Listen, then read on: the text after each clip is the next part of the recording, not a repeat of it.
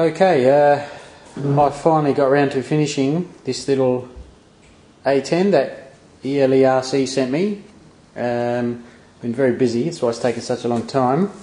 Now, uh, I've just gone with a couple of um, AEORC fans, which my good friend Nitro Charged uh, assembled and balanced for me, and they are just using a Turnigy. Oh god, I don't remember the specs, but it's a tiny little Turnigy motor with a uh, blue casing, I think. They still sell them. Uh, it can it runs on 2S. I can't run it on 3S. It's about 60 grams thrust roughly per uh, side. Now, the elevator I should have put the servo I was going to put into the fuse, but I glued the fuse together before kind of uh, realizing what I was doing. I got a bit excited, so that's kind of just butchered into there. Works fine. I tried the um, single servo for the ailerons, but I just hate those torque uh, rod systems. So I just happened to have two tiny little servos around. I've put one in each wing, which I prefer anyway. It gives much more direct uh, movement of the control surfaces.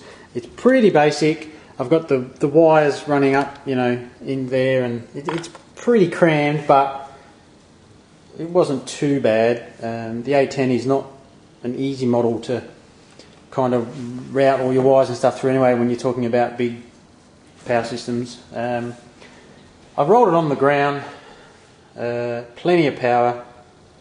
It just it scoots along the ground. I haven't had a chance to fly yet because it's about 40 degrees outside, 40 degrees Celsius that is. But um, I'm planning on running a 800 two cell. Now I have no idea where the, the um, balance point is, so we'll just have to sort of see what other guys have tried, and I'll probably go slightly nose heavier first. See how we go. Now I'll um, I'll power it up so you can see how everything everything works okay. Okay, this is um, the weight of it. Now that's the battery I plan to use. I'll get some nanotechs because we've seen them down the field and they are just so much better. So I'm going to order some of them, but um, that's what I'm going to use. Now we have here we have 188 grams. That's ready to fly, which is what's that? 6.65 ounces for all those using the that, that system, whatever that's called. Metric 188 grams, ready to go. Holy dolly, she's a sexy little thing. Oh, hang on. That's got to go there. Or is that the wrong way? I don't even know which way that goes. I'm stupid. But anyway, there she is. Now I still need to, uh, I'm just going to plug that in. That's only a little 460 nanotech, two cell. It's my 800s. I haven't changed the um, plug yet, so I'll just plug it in so you can just get an idea uh, of the power. I have I have used these fans on a little twin EDF multiplex Fox conversion, and it flew fine. It was no rocket, but it flew fine. Which I have a video of on YouTube now. It is ready to go. I just need to put the canopy together. So, you know, yeah, the ailerons are all working. Elevator. We have no rudder. I mean, if you're really keen, you could probably rig up the front wheel and have a steerable, but you know, there's not much room in there. If you're keen, you could do that. So I'll just put it on the ground and I'll throttle up, and you just you get an idea of. I, I honestly think it will fly fine with this power. So I'll stand over there so I'm hit, hit the couch.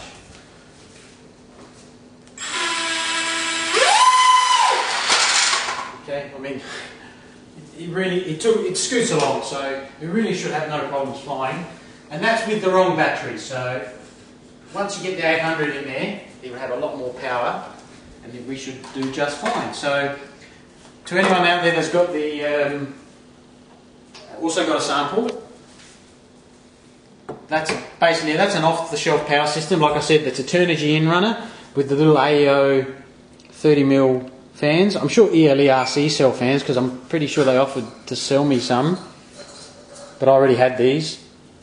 And Turnigy batteries, little Turnigy ESCs, all off the shelf. I'm sure Nitro and some of the other uh, really clever guys will be winding their own custom motors and having massive outputs. But I did this as a as a way to show uh, your average RC bloke that can't rewind their own motors and stuff that you can do it with off the shelf gear. So if the weather the temperature comes down, I'm sure we'll get to maiden this probably Sunday.